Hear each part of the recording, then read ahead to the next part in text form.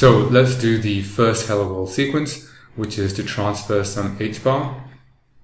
Right, so let's open up the script transfer hbar, script transfer hbar.js, and you can see all the code here. I'm just going to go and run it. Um, cd transfer dash hbar dot slash script transfer hbar.js.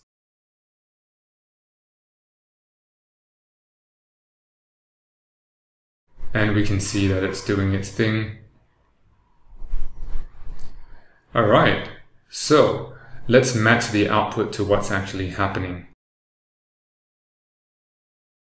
This part here says starting the script, reading the .env file, um, we read and from the .env file we extract the values and then we uh, output the name and the operator ID and then it also reads from the .env file to EVM addresses so these are accounts that don't necessarily exist yet and um, we will be transferring some HBAR to each of these accounts. We'll create um, something called a transfer transaction which is what this does and you'll notice something interesting here, right? Transferring from the operator account to two different accounts within a single transaction.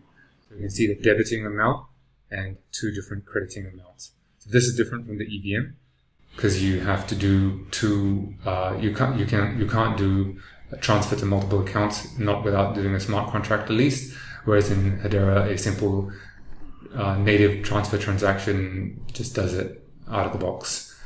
Okay, then the next steps here are to essentially sign it using the private key.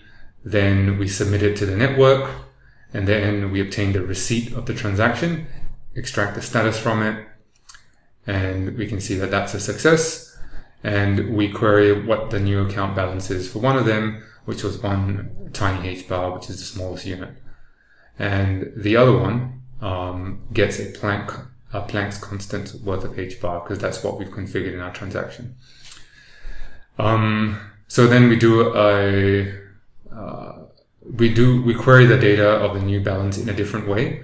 So this time we uh, we use a mirror node API. So this is not using the SDK, but rather it is using a standard HTTP request on the mirror node to get the value of um, the balance, right?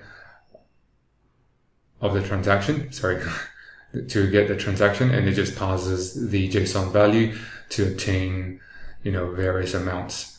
And we'll see what this is in the next step, right? Which is to simply construct a HashScan URL. HashScan um, is the block explorer or the network explorer for Hedera. We'll just paste that into a new tab and we can see over here a transaction with that ID was a crypto transfer, i.e. transferring HBAR. And we can see over here that the operator account transferred to EVM address number one and number two. And these are the amounts. So we can see how that works. So let's take a look at this one. And we can see that this has an EVM address, which maps to the EVM address of the second one in the list over here. All right. And then we reach the end of the script and we've done it successfully and we can see some summary metrics at the end, right? So we can see that we've completed a task. The task that we completed was to transfer HBAR. Um, it took us one minute and 49 seconds to, to do the whole thing, including the setup of the, the, the script, the prompting the script and creating the .env file. So this is something that I refer to as time to hello world. So that's a pretty, that's a pretty decent time. It doesn't include the Gitpod spin up time, which is approximately up to 10 seconds. So, you know, all in, this took us about two minutes. And, you know, there was one completed task and no incomplete tasks. um, this task itself, the, the script itself took eight seconds to complete. All right. And if you want to, you can actually take a look at the HCS metrics on HashScan. So I'm just going to copy that and open it up in a new tab.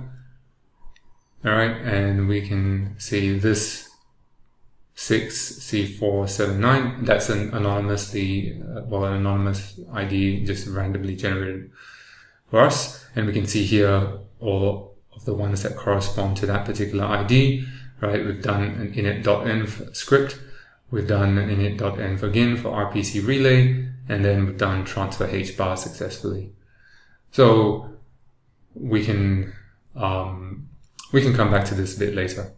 So that's just one script. There are four in total.